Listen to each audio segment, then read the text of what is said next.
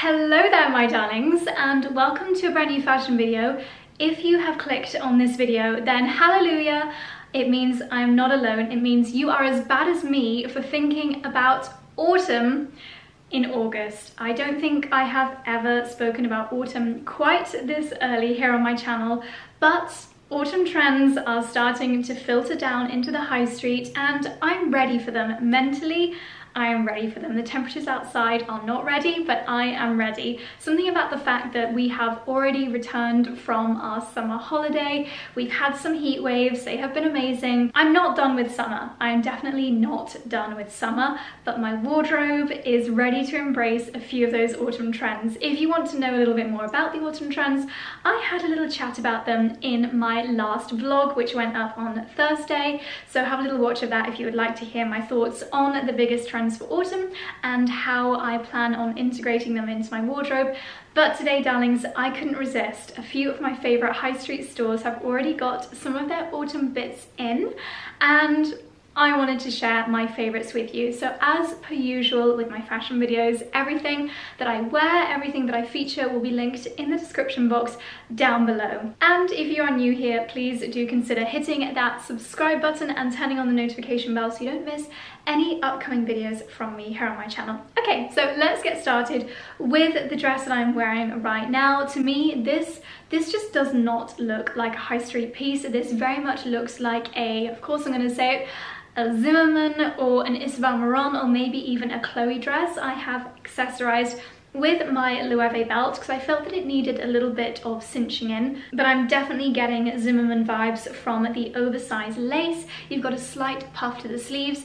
Lengthwise it's still fairly short so great for that transitional period between summer and autumn when maybe you want to get a slightly more autumnal colour into your outfits but you're not quite ready to give up summer silhouettes. This is absolutely perfect for that. Lengthwise as well it's the length that I absolutely love. I don't like dresses that are too short whereas this one still shows plenty of leg but without being too revealing. So the shoes that I'm wearing with this dress are also new in. I actually saw these styled on the website with a pair of trousers and I'm going to style them with a pair of trousers later on. I feel like I have fallen out of love with footwear as a whole lately and I do struggle particularly during the transitional period between summer and autumn. When do we start to wear closed-toed shoes? Sometimes I'm just not ready for closed-toed shoes, but a lot of my open-toed shoes are a little bit too summery. Well, these for me, I feel are the perfect kind of transition between summer and autumn. So they are this really lovely squishy, I'm guessing it's faux leather, although it has got the leather symbol underneath, so maybe it is real leather, but really, really spongy, which makes them so comfortable. The heel is a really good height, gives me a perfect amount of height, but without being unwearable. I probably wouldn't wear these for like a full day of shopping, but if I was going to meet friends for lunch or if I was just going to be on my feet for like half an hour or so at a time, then I think I'd be very comfortable in these. They're quite cool and stylish in the fact that they've got the loop around one of the toes. Um, and I have a feeling that this is the kind of footwear that is going to see me through a lot of the outfits in this video and also in my summer to autumn wardrobe in general. Okay, we move on to outfit number two, and I'm gonna be the first to hold my hands up and say this is very much out of my comfort zone. I am a floaty dress kind of gal. I very rarely wear trousers, and when I do, I like them to be stretchy, I like them to be cozy, and this is everything that is not true to my personal style, but I saw these faux leather trousers on the website and oh my goodness, I thought they looked so cool and I love the color of them. I'm very drawn to dark chocolatey hues. I think that is a shade that's gonna be a real neutral in my wardrobe this autumn winter. So I thought let's give it a try. They're from the high street, they're not gonna break the bank. So let's see how they work with my wardrobe. And I have to say, yes, I need to take these up by an inch, if not more, because I think they'd be more flattering if they were around the ankles, but I think it'd be a very easy job. The hems literally just need folding up and then restitching. I think these could be a real favorite. So fit wise, I went for a size eight, which is my usual. I did wonder if they might be a little bit tight around the waist and I really don't like anything that's tight around the waist, but luckily they're not. It wasn't a real mission to pull them up, which is great because some of the leather trousers in my collection well, I haven't tried them on in a couple of years and I'm not optimistic. I don't think they're gonna fit me this year, whereas these are really comfortable to get on. They fit nicely around the bum, there's not too much wrinkling going on, and then they are straight cut, which is exactly the kind of cut that I would want from a pair of faux leather trousers. Anything too fitted, I think makes you look a little bit like a Michelin man, and anything that's too flared is maybe a little bit OTT. So the fit, the silhouette of these, I love. I have paired at the moment with this really classic V-neck um, t-shirt. It's about time that I got some new t-shirts in my collection and this one is just a really lovely, very wearable oatmeal kind of colour. It's quite a thick cotton and it's got a little bit of a marl pattern to it, so a really wearable t-shirt. I like to call things like this building blocks for your wardrobe because they are the kind of things that you wear so, so much. And I have again paired it with the brown, leathery, spongy shoes. And once the trousers are taken up by a couple of inches, I think this is going to be a really cool transitional outfit. So a quick update on the trousers. I have just folded them up by four inches, which is quite a lot. And now they're more ankle length trousers and I love them even more. I think they are so much more flattering when they are up a few inches. I have also changed my footwear and it is very much now ankle revealing. You guys, these this footwear option is going to be hugely Marmite.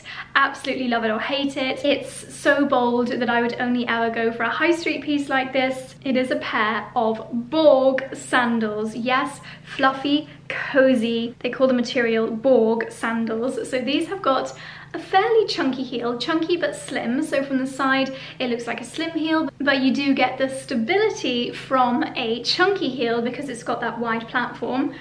Let me tell you, these are actually really, really comfortable. They're crazy, they're fun, but I think as we go into autumn winter, I think this year, as I mentioned in Thursday's video, coziness is a big trend, and why not extend that down to your footwear? I'm not sure that I'll be doing Borg bags this year. I'm sure I'll be doing Borg coats. In fact, I have something very lovely to show you later on in the video but this just adds a real element of fun to the outfit. I think they're around the 40 pound mark, so it's not breaking the bank. It wouldn't surprise me if someone like Bottega brought out a pair of Borg shoes like this and all the fashion girls will go mad for them. Well, the high street got there first and yeah, they may be Marmite, but I am a fan. So a transitional wardrobe always needs a good few cardigans and cardigans typically are quite feminine, quite cozy, almost like cottagecore style. Well, not this one. This one is quite sporty. It's got a chevron pattern to it. Yes, it's from the high street, but I feel like in its simplicity, it could be a more expensive cardigan. It could be premium high street. You could definitely say that this is Reiss and it certainly looks like it could be. It's really quite simple. It's just got one pocket here, chunky zip in the middle, and it's just a sporty cardigan. It looks really great with this outfit. Even last night when Charlie and I went for a late night dash to get some Percy Pigs, I grabbed my um, Uniqlo puffer jacket. It was far too warm for something like that, but I still needed something to just pop over my shoulders. This is the perfect cardigan for things like this. I don't know if you'd call it a cardigan really. It's more like a, is it a shacket? Is this what a shacket is? I'm not too sure. Um, but yeah, something that I think I'll get a lot of wear from during the summer going into autumn months. Well, my darlings, if you thought that Borg shoes was crazy in August, yes, we have full on lost the plot because this is a Borg gilet. And I'm not gonna lie, I absolutely love it. I fully went down the cozy jacket route last year and my cozy jackets were the ones that I reached for the most. The one quibble that I had with them is that it, they are quite restrictive. As a full-on Borg jacket, if you're driving or if you've got your arms full of bags or even if you're out eating, I found them quite restrictive. So for me, a Borg sleeveless jacket or gilet such as this one I feel is the best of both. You get all the cozy vibes. I don't know about you, but I never feel like my arms are cold. Like my arms don't ever really feel cold. In the, in the really cold months, I am queen of the thermals. I love to layer underneath a high neck long sleeve jumper like this. You could most definitely wear a full length thermal Oh my gosh, am I actually talking about thermals when it's 22 degrees outside? Yes, I am, because we have to plan ahead because things like this will sell out. I can see it now. I can literally see it right now. I will probably post a photo next to a beautiful Cotswold stone wall in a field somewhere on the 1st of October wearing this and everyone's going to want to know where it's from and it will be gone. It will be long gone, sold out. That is why we have to pick up little gems like this in August. Retailers, why do you do this to us?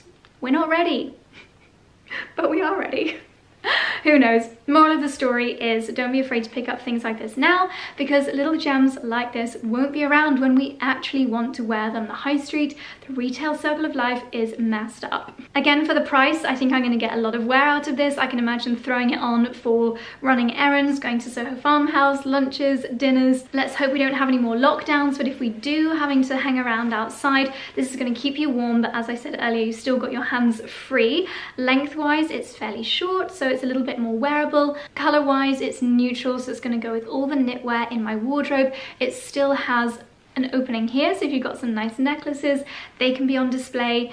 Oh, it feels so cozy, it really, really does, and I'm loving how it looks with this sage green jumper as well. And we are back to my comfort zone in a lovely dress. Now this really is the perfect transitional piece because it is very much a summer silhouette but with autumnal colour tones. Gosh, I have missed these words, transitional, autumnal. They are all words you can play bingo with. throughout the next few months because I will be using them a lot. So this is another one with a really lovely short skirt, a little bit shorter than the first one. And the fabric is actually really lightweight. So if you do live somewhere where the temperatures stay warm well into the autumn like LA or Spain or south of France, and yet you still want to wear something that is a little bit more seasonally appropriate when we do go into autumn, things like this are absolutely perfect. But for those of us that live in cooler climates where the temperatures will drop very soon, I'll be wearing this. You can wear a thermal underneath this, you can wear tights, boots, that is definitely how I'll be styling it in the autumn. But for now, those first shoes that I showed you, the dark brown leather ones, look really perfect with bare legs. A great way to give a little bit of a nod to the upcoming season, but without making yourself absolutely roasting, no borg in sight. Instead, you've got this really lovely, almost like a deep red wine shade as the main color, and then you've got a kind of like a raspberry, peachy, big, I think it's a lily floral pattern and you've got some gold metallic threads running through. Really beautiful silhouette, really lovely lightweight material. Definitely the kind of thing that I love to add to my wardrobe as we move into autumn. Well, my darlings, we are back to Borg. I couldn't resist pushing the boat out just a tiny bit further and I promise you this is as autumnal as it gets. But we have got a full length Borg or teddy, what do you call them, sleeveless coat and I love this outfit. I love how it looks. I feel like as soon as the leaves start to go brown, I'm gonna be wearing this outfit for lunches, for dinners, for meetings at Soho Farmhouse. I'm gonna be wearing this outfit a lot. You wait. I'm so, so happy with the sleeveless jacket. All the same benefits that I mentioned earlier in that you are hands-free, arms-free, much easier for driving, much easier for working if you're outside working. If you are eating, your arms have a lot more flexibility than you do in a full-on fluffy jacket, and yet you still get that cozy factor if it's really cold cold. If you're out for a walk, you can just really like bundle yourself up, get really warm and toasty, and yet something about it being long and full length makes me feel like it's more of an outfit. There's something quite elegant about full length sleeveless jackets. I've got my one from last year from, um, I think it's Sandro in a light colour. I'm always a little bit scared to wear it on walks because it's light, but this I will be very, very comfortable to wear on walks as well. I bet you can literally just stick this in the washing machine. Okay, it says dry clean only, but I never pay attention to those. If something says dry clean only, don't quote me on this, but I always just stick stuff in my washing machine on the delicate setting and I've never ruined anything of mine. I've ruined a few of Charlie's t-shirts, but let's not go there. Yeah, absolutely love this. I feel like it is the perfect autumnal outfit. Love it with the leather trousers. Would probably wear it with um, maybe some black or dark brown leggings and walking boots as well. You can predict that this is something that, again, you're going to see me wearing so much of on Instagram and in my vlogs as soon as autumn is officially here. So in the cooler months, as I try to transition myself slowly away from summer dresses, I find it very hard to find trousers that are comfortable, not too tight around my waist, and also not I don't know, just kind of boxy and quite harsh looking. I still like to have that more relaxed silhouette and I'm always on the lookout. I've got a couple of pairs of trousers similar to this pair, but they all have drawstrings around the waist, which to me just makes them look so, so casual. So this pair, I'm very pleased to report, look smart. They have got a tapered, tailored style front. They've got a button and not a drawstring, but they have got that all-important elasticated waistband, which is hidden at the back. Yes, hallelujah. I think this is the perfect pair of comfortable and yet smart looking trousers. And let me tell you I have been on the hunt. I have been on the hunt. So I'm so so glad to have found this pair. They do have the all-important pockets. They're beautifully high-waisted and the fit of them is absolutely perfect. Lengthwise again I'm probably gonna have to take an inch off. For reference I think I'm around this is a total guess, but I think I'm around five foot three. I'm not very tall. I'm wearing heels here. I'd love to be the kind of girl with the long legs that can wear trainers with this type of trouser, but I'm never gonna be able to do that. So for me, it's heels. If you have any other styling recommendations, fellow petite girls, please let me know. But for now, this is how I will be styling trousers like this. Of course, I've gone for a neutral color. If I've got any long road trips, long train journeys, even any aeroplane journeys in the near future, I will be wearing these with either a cozy knit like this, tank top underneath, for that effortless but still smart, cool girl style. Well, I bet you didn't see this one coming. The next item in my haul is a set of pajamas and I actually have three bits that all kind of match together. Obviously you can't wear them all at one time because this first little item is a play suit. Now I love satiny pajamas. You get all the look and the softness and the luxurious feeling of silk, but you don't have to iron it. Hallelujah, because I cannot be bothered to iron my silk pajamas. They're beautiful, they're gorgeous, they make me feel like a princess, but I cannot be bothered to iron silk pajamas. These are absolutely adorable. I love the color pattern. It's a white background and you've got this kind of pink, almost toile de jouy. It's actually looking at it like giraffes trees, a little bit of Serengeti kind of print going on. It's so lovely. And then you have got this really beautiful um, pink lace trim on the edges and on the bottom of the shorts and on the bottom of the trousers as well. Really interesting back detail. You can still see a little bit of my tan lines. You've got this crisscross back detail. The length of these, the length of this play suit is really, really sweet. I love that lace detail down at the bottom.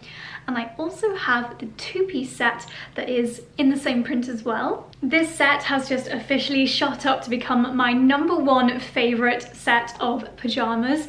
They look, this set looks so elegant. It looks as though I'm wearing a pair of Olivia von Halle pajamas and I think at the moment they are charging around 300 pounds for Olivia von Halle pajamas. They look like silk. This pattern looks expensive. It looks like a hand drawn watercolor painting or maybe just hand drawn maybe not so much watercolor but I love it. The colors the white and the pink are so feminine. I feel great in these pajamas. I love the fact that you've still got that really interesting back detail and yet the trousers are long. I don't like to be cold in bed. I like to feel snuggly. I like to be a little bit more airy up here, especially if I've been fake tanning. Don't worry, these pajamas will wash absolutely fine. Um, but you still have the coziness of long pajama legs. And again, you've got that beautiful pink lace at the bottom. I love these, I love them so much. River Island, if you're watching, please, please, please bring out a robe in this pattern as well. Imagine a long silky robe like this with the pink lace trim. That would be so beautiful. I think these I think this set is possibly my favourite item in this haul so far. Smitten with my new PJs. I know you wouldn't necessarily wear these together, you probably shouldn't, but I just don't want to take these pyjamas off. And also the next thing that I have to share with you is this cardigan. a little bit random and out there for me. I don't have anything else dogtooth in my wardrobe but I saw this one and I thought that is going to be so perfect for just popping over my shoulders when I'm wearing a nice perhaps plain white bandeau summer dress and I just want something over my shoulders because it is really really cozy. It's almost again like a shacket in that it's got a lining. Feels a little bit Balmain-esque with it being houndstooth and having this statement button on there but yeah, this was a bit of a wild card item, but I thought I would pop it in my basket and I actually think it's the kind of thing that I will get a lot of wear out of. If I ever have a pajama day, then it does go really nicely with the PJs. But yeah, let me know. Would you guys, how would you style something like this? something about it that I just really, really love. Well, I'm not gonna lie, darlings, when I saw this on the hanger, I wasn't sure if it was a top or a dress, but upon putting it on, it has become very clear that it is in fact a dress, pretty much as short as I'm willing to go. It is it's a shorty, that's for sure, but I absolutely love it. Once again, summery silhouette, but this kind of, what would you call it, like taupey, greyish kind of colour gives me those leaning into autumn vibes. I love the silhouette. I love anything with smocking because it's so comfortable. I love a puff sleeve. I love it when the high street does a puff sleeve because you can go a little bit more wild. You can try out things you maybe wouldn't necessarily want to spend a huge amount of money on and see if that trend is for you. I love this ruffle detail around the neckline and I have to say it looks like more of a bespoke kind of boutique brand than a high street brand, which I really, really like. And last but not least, my darlings, we have the most gorgeous autumnal floral blouse. Now this one feels like it was a kind of old school Victorian print and then someone printed it on some jazzy, almost metallic fabric. So it adds a little bit more of a jazzy. That is the word I'm going to use to describe it. Jazzy vibe to the blouse. Now I wanted to make it a little bit more summery, so today I have paired it with a midi skirt, another of autumn's trends. Check out the video if you haven't seen it yet. I did chat about the trends within a vlog, so you might want to enjoy the vlog bit as well as listening in to the trends. But yeah, things like this with a midi skirt is a great way of getting those autumnal patterns and trends into your wardrobe with pieces that already suit your personal style really, really well. I have to say this is a tiny bit bit itchy, something to be wary of. But I often find that after things like this are washed, they do soften a little bit. So I'm not too concerned about it and I love the overall look. So darlings, this is the final piece. Let me know what you loved, anything that you're like, whoa, I'm not ready to even think about it yet and let me know your thoughts down in the comment section below. And let me know are you already thinking about autumn for your wardrobe or am I crazy? If you got to the end then I think it probably means that you are. So darlings don't forget to give the video a thumbs up if you enjoyed it. Links to everything in the description box down below. Subscribe if you're new and if you'd like more fashion content here from me. I do a fashion video every Sunday and vlogs every Tuesday and Thursday. Darlings Thank you for watching. I hope you have a wonderful rest of your day and I'll see you very soon in the next one. Bye.